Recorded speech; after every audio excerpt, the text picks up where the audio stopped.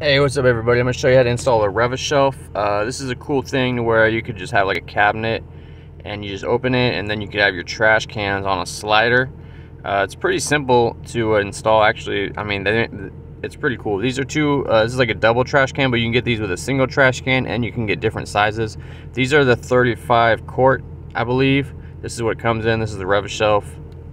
Um, and uh, basically you just can do this make your trash can slide out. Now there's also smaller ones you can get, like the ones that are, uh, I think these are the 27 quart. These are uh, different here, but same thing, they just slide out. Uh, it's probably for like a smaller, you know, cabinet area. I'll put links in the description in the comments how to get these. I get them from Amazon, but yeah, this, these smaller ones are the 27 quart. This is a double. Um, like I said, you can get singles, and they, they are installed pretty much the same.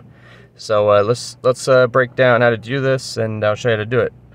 So uh, you could also get an adapter. I'll probably make another video on how to like, you could have it to where when you open it, it just is attached so you can just pull it out like this instead of having to open it and then pull them out. I'll make a video when I get the adapter too.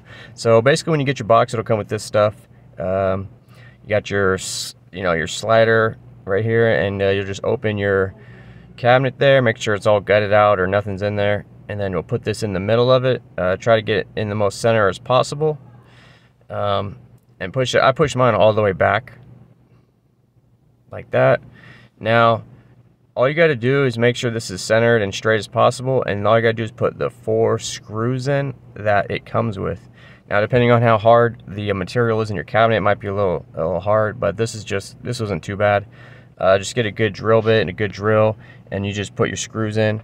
Again, make sure it's not shifted too far to one side or the other, because then the trash cans will hit the side, and it just won't work good. Um, doesn't have to be precise, but you know. So after you get your screws in in those four slots, we'll put this in. Now, uh, with these, these just go right here. Right here and right here.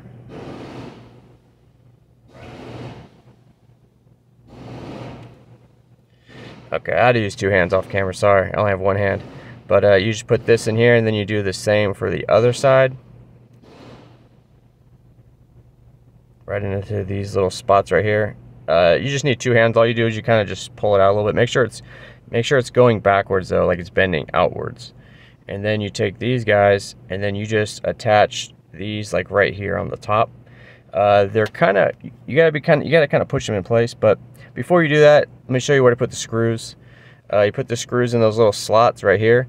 Now those slots you could kind of they're they're slotted so you can adjust it a little to the left or right. But it goes here and here and uh, that's where you get them in. Okay, so back to this. You want to push this in right here and then push the other side in. They could be kind of hard, but push them in. That It's kind of like a stabilizer bar. It just keeps it all like a, uh, a tight hold on the trash cans.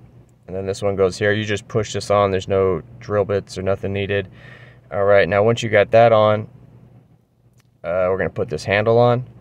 Same thing, these little uh, grabbers, you just put them on here face them this way and then just push them on.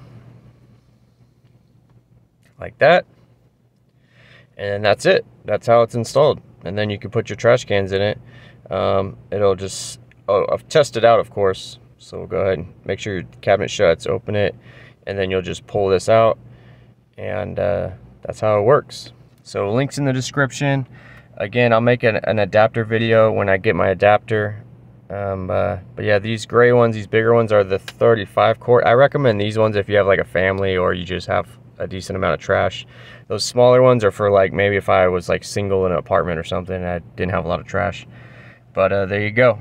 That's how you do it. Thanks for watching, guys. I hope this video helped you out. Um, I'll see you next video. Links in the description.